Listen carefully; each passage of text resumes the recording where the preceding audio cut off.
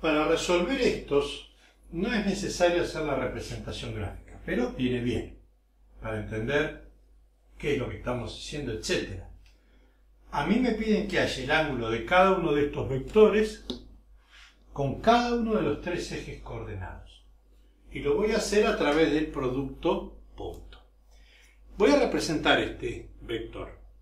Si ustedes no tienen práctica de representar estas cosas, tienen que adquirirla haciendo uno y otro y otro ejercicio para dibujar así en perspectiva. No es tan difícil hacer esto y tienen que aprender a hacerlo, sobre todo porque esto es el CBC, o es una materia del CBC de ingeniería. Y en ingeniería la representación gráfica es fundamental. ¿Sí?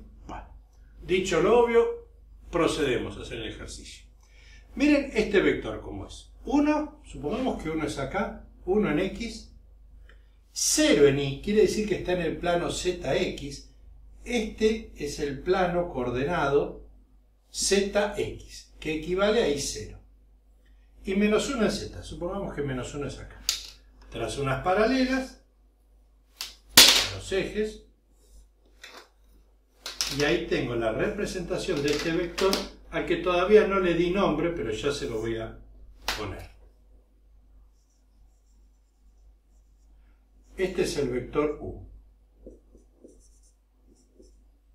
Y yo necesito el ángulo entre este vector y cada uno de estos tres ejes. Cada uno de esos ejes va a estar representado por el versor correspondiente. El versor I, que es el 1, 0, 0, el versor J, que es el 0, 1, 0, y el versor K, que corresponde al eje Z, que es vertical, que sería K igual a 0, 0, 1. Ahora, los ángulos que debo determinar son básicamente los siguientes. A entre el eje X y el vector es este ángulo, que voy a llamar alfa. Que como esto vale 1 y esto 1, porque está acá, sé que va a ser 45 grados. Entre el eje Y y el vector tengo este otro ángulo. ¿Qué ángulo forma el eje Y con el plano XZ? Con el plano coordenado. El eje Y es normal, o sea que este ángulo beta me tiene que dar 90 grados, sí o sí. Y después necesito un ángulo más que es entre el eje Z positivo, el semieje Z positivo y el vector, que lo voy a llamar gamma. Y voy a hacer la de siempre, utilizando el producto escalar. A ver, vamos con alfa. El coseno del ángulo es el vector u por el versor i, con este símbolo, por el versor i dividido la norma de u y la norma de i, que no la pongo más porque es uno, son versores. Esto es 1, 0 menos 1 por 1, 0, 0 dividido. La norma de u es raíz de 1 al cuadrado, 0 más 1 cuadrado por 1. Me queda 1 por 1, 1 arriba. Después todo lo demás es 0. Y acá tengo raíz de 2. El ángulo, tal que el coseno vale 1 sobre raíz de 2, es 45 grados. Este ángulo es 45 grados. Ahora voy con beta. Coseno de beta es U, producto escalar por el versor J, dividido la norma de U o módulo de U.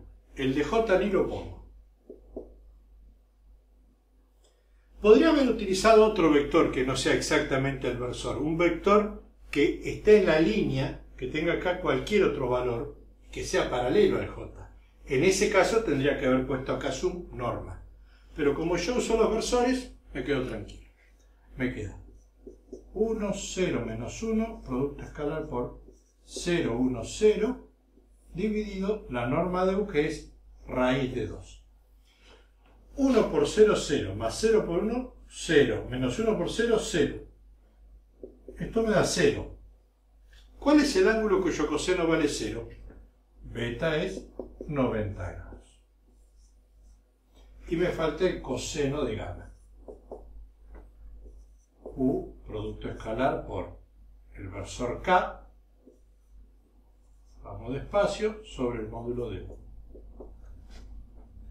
1, 0 menos 1 por 0, 0, 1 dividido la raíz de 2. Y me queda 1 por 0, 0, 0 por 0, 0, menos 1 por 1, menos 1 sobre raíz de 2.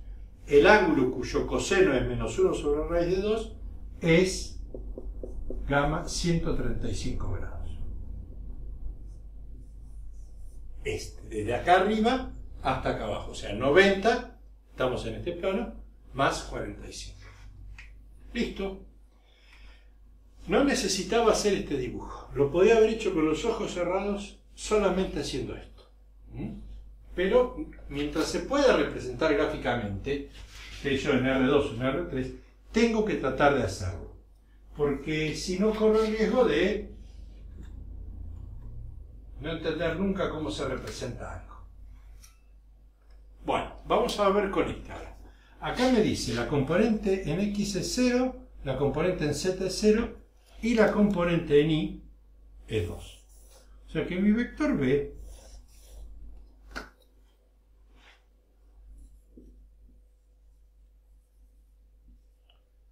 este es mi vector B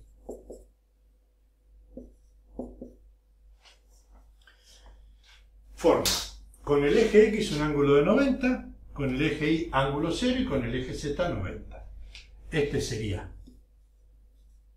alfa, beta es igual a 0 y gamma vale 90 grados, igual que alfa. Porque son los ángulos entre los, vector, los versores y este vector B. ¿Dará si hago este cálculo? Vamos. Coseno de alfa es B por el versor I dividido la norma de B. Y la norma de que ya lo dijimos acá, que no la, no la poníamos más. Me queda 0, 2, 0 por 1, 0, 0 dividido la raíz de 2. 0 por 1 más 2 por 0 más 0 por 0, 0. El ángulo alfa es que el coseno vale 0, el ángulo vale 90 grados. Coseno de beta, este que me tiene que dar 0 es B por el versor J dividido la norma. B es 0, 2, 0 por 0, 1, 0 dividido la norma de B era raíz de 2. No, no está bien raíz de 2. ¿eh?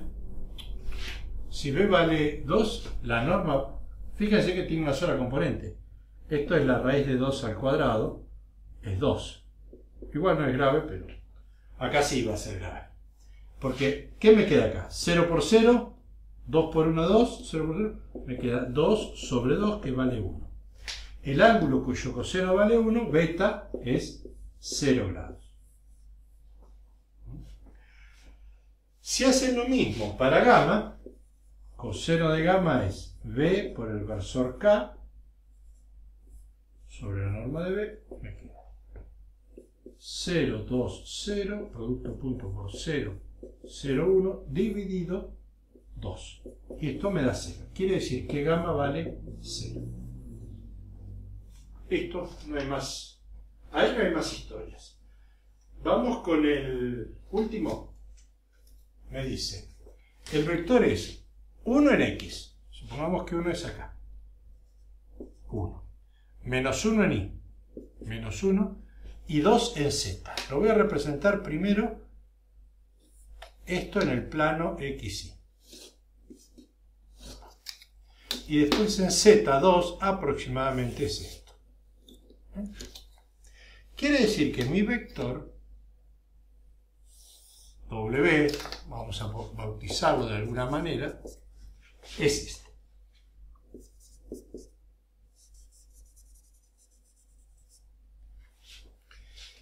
Los ángulos que me piden a mí son el ángulo en, el plano entre W y el eje X, este ángulo alfa.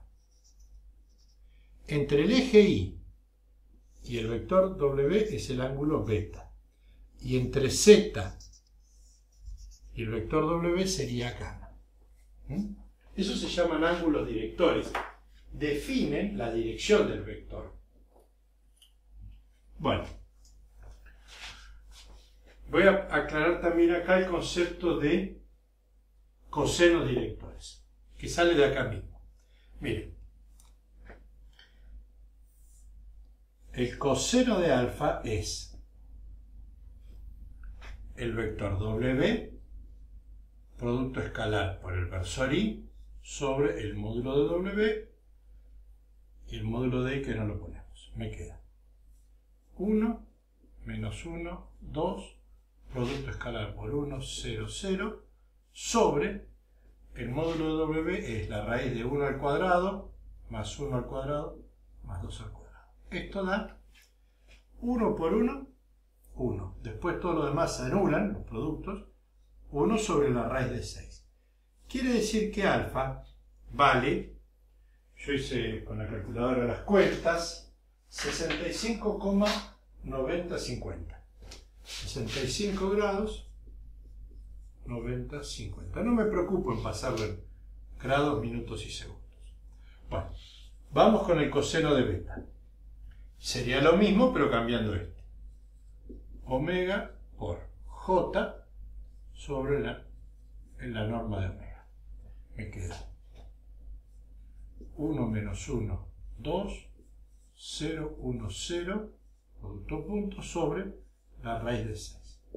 Y esto me da menos 1 sobre la raíz de 6. Quiere decir que beta es igual a 114, 114, esperen, ¿eh? 0948. 0948 grados. Y me queda el de gamma. Coseno de gamma será omega por el versor K dividido la norma. 1 menos 1, 2, 0, 0, 1, producto punto, sobre la raíz de 6. Entonces 2 sobre raíz de 6. Ese ángulo es tanto como 35,2644. 35,2644. Ahí tengo los ángulos. Una aclaración que lo vamos a ver después, lo vamos incluso hasta demostrar en otro video. Estos tres valores, coseno, este, este y este, se llaman cosenos directores y coinciden con el versor U. ¿Sí? Si yo pongo acá coseno de alfa, coseno de beta, coseno de gamma, voy a tener el versor en la dirección del vector U. O sea que será un vector de longitud 1 que tiene la misma dirección que el vector W. ¿Sí? El versor en la dirección de W. Y sería 1 sobre raíz de 6 menos 1 sobre raíz de 6 y 2 sobre raíz de 6. Fíjense que es el vector original dividido por su módulo o norma. Estos se llaman cosenos, cosenos directores. Aparecen en muchos ejercicios. Bueno, hasta el próximo video.